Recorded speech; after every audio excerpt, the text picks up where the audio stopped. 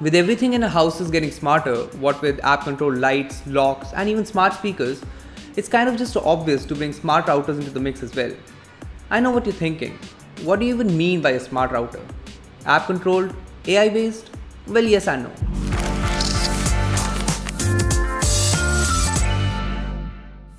Hey guys, I'm Akshay from beebom.com and today let's talk about smart routers and some of the things that you can do with them but not with your regular router. So let's get started. So you're out of town, but you need to make sure that the kids aren't just spending all of their time on the internet. Or maybe you're just wondering if a nosy neighbor is stealing your Wi-Fi again. If you have a smart router, you can simply launch the router app and check on everything about your network. So if you see your annoying neighbor stealing again, you can just add him to your MAC address blacklist. There's quite a bit more that you can do with the app, including things like inviting people to join your network by sending them your Wi-Fi SSID and password via email or text, changing your Wi-Fi name and password, and setting up port forwarding and a lot more. The Linksys app can actually let you do most of the things that I'll be telling you about in the rest of the video.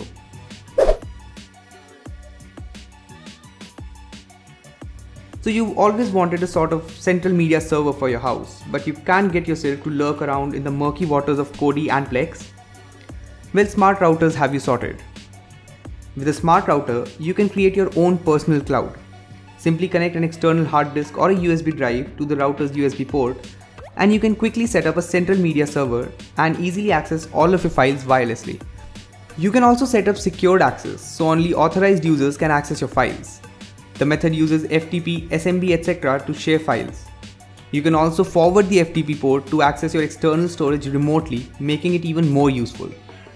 And for times when you get tired of switching your printer from one computer's USB port to another, well, why not connect that to the router and share it over Wi-Fi as well? Yeah, you can do that too.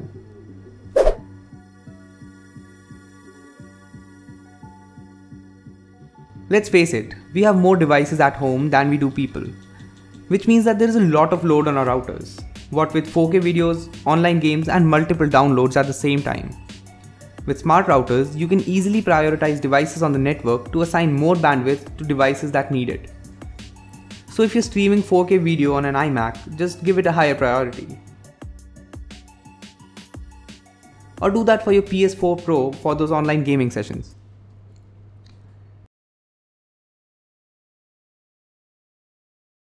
It just takes a couple of clicks and you're done. You can even set the bandwidth that you want to reserve for devices marked as high priority.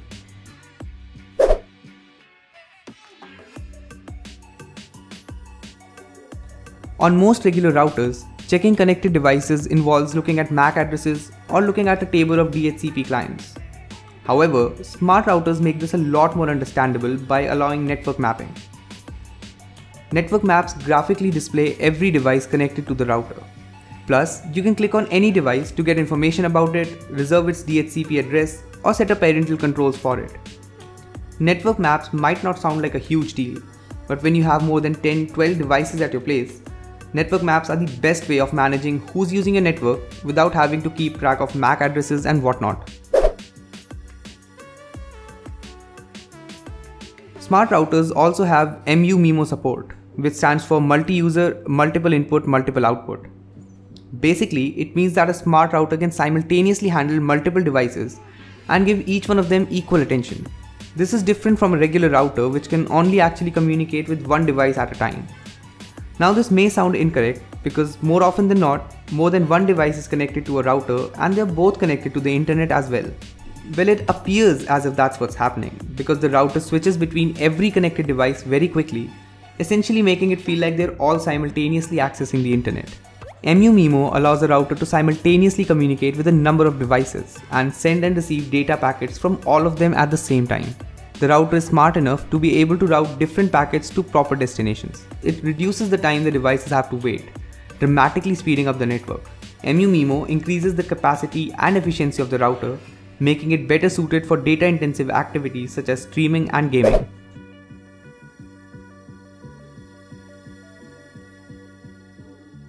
If you're worried that your kids may be staying up late online or wasting their time surfing the internet while they should be doing their homework, Wireless scheduling is your savior. With wireless scheduling, you can easily have your router stop allowing access to the internet according to time ranges set by you. While this is possible on a regular router, it will take a regular user to spend a lot of time figuring out how the various options tie in together.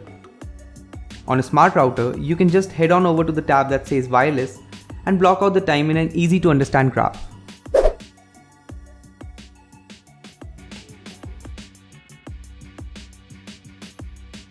Parental controls on a router are very important and this importance is probably why parental controls are available on regular routers as well. However, the complicated way in which the menus are laid out makes it look like parental controls should be marked as an IT parent feature only. But on a smart router, you can simply head over to parental controls, select the device you want to enable the feature for, specify the times you want to restrict internet access, and specify the websites you wish to block. So you can easily block websites like Facebook, Instagram, and Tumblr to ensure that your kids don't get distracted. I think you'll agree that this is way better and easier than having to work your way through a series of unfriendly forms that will definitely put you off. Guest networks are awesome. They are an easy way of ensuring that a guest doesn't get access to devices on your home network or to your shared files, but they're still able to access the internet via your router. Smart routers like the Linksys EA7300 will allow you to just go to guest networks and edit everything that you need to. Plus, you can check which devices are connected to your network, giving you a nice overview. While it is fortunate that most regular routers support this feature, it's also kind of bad that they implement it in a poor way, with a terrible UI that will definitely have me running away from using guest networks. I mean just look at this.